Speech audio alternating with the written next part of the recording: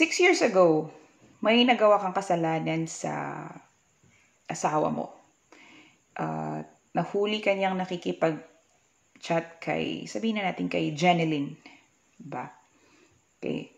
O, nag-away kayo, pero ikaw humingi ka ng tawad, so napa, napa, napatawad ka na niya, okay na kayo ulit. So, uh, binigyan ka na ng punishment, hindi ka niya pinatulog sa kwarto ng 10 days. So, na-serve na yung punishment mo, okay na. Tapos after 6 years, inungkat na naman ni Mrs. Talent yan ng mga babae. diba? Aminin naman natin o hindi. Talent natin yan. Makakalimutan natin saan natin nilalagay yung ating mga hairpins, yung panyo, payong, pero hindi natin nakakalimutan yung nangyayari sa mga nakaraan at 2.45 p.m. ba? Diba? Ganun tayo eh. So ngayon, um, ikaw na husband or ikaw na boyfriend, what can be your defense? Or what can be the remedy for you? Hmm. I-compare natin yan sa rules of court. Wala na, tapos na yun eh.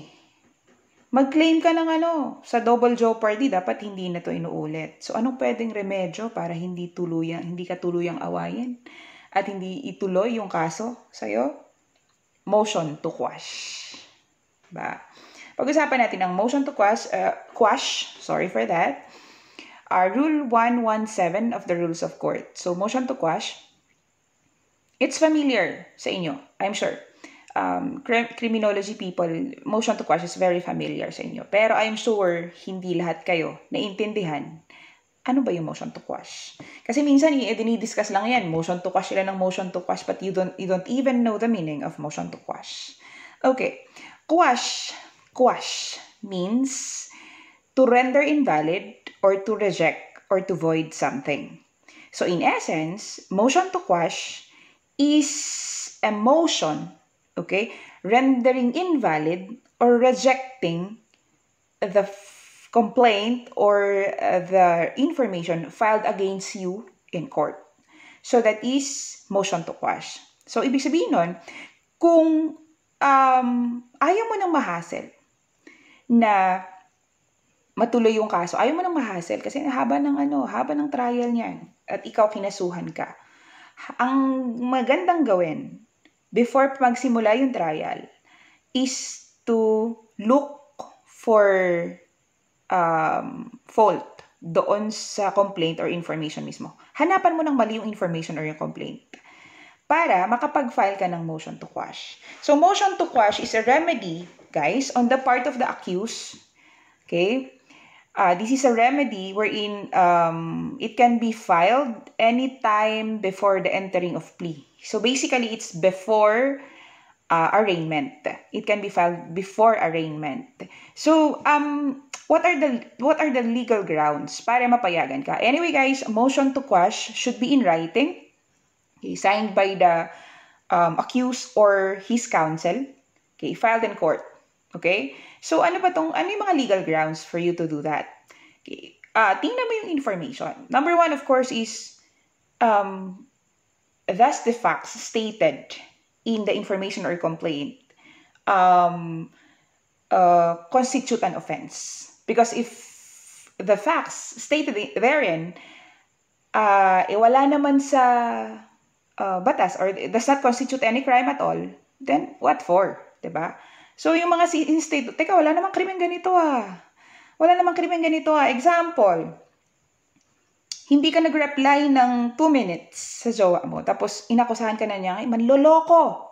Agad-agad. Saang libro makiki saan saang libro mo ng ng batas, anong section mo na makikita sa batas na pag 2 minutes ka hindi nag-reply, nanloloko ka na agad. O, parang ganun, ba? Ano ba yung ibang grounds?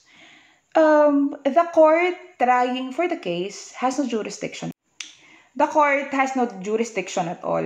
O yung pinag-file ng kaso ng korte has no jurisdiction over the offense charge. Isa pa yan sa ground. Ano pa? Um, it could be na the officer who filed for the information has no authority to file that. Or the officer who filed the complaint has no authority to file such complaint. So pag ganon, you have a valid ground to file So, ano pa yung mga grounds? What are the other grounds for uh, filing for motion to quash? Um, maliban dun sa there's no, uh, the facts does not constitute any offense at all, uh, the court trying the case or the court where where they filed the information or the complaint has no jurisdiction over the case charge. The officer who filed the information or complaint has no authority to do that. And um, pwede rin na hindi sila nag-conform dun sa prescribed na form. Tapos, ano pa?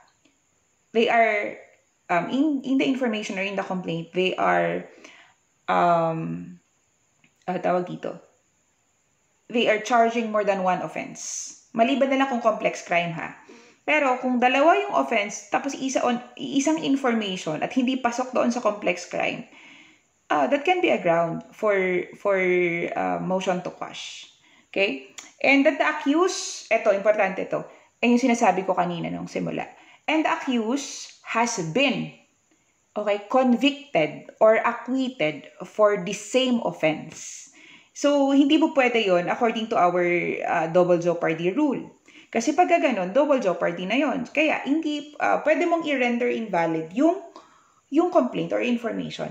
If yung kaso, na, uh, yung kaso o yung offense na charge doon ay actually na, na, uh, na, na-serve mo na dati na-file na, na sa'yo dati at it's either na-acquit ka or na-convict ka, nakulong ka o kaya ay na-dismiss yung kaso mo dati. Okay? So, pasok yun sa ground ng filing for motion to quash. Sorry, so remember guys, motion to quash is a remedy on the part of the accused filed at any time before entering his plea or basically before um, arraignment. Okay?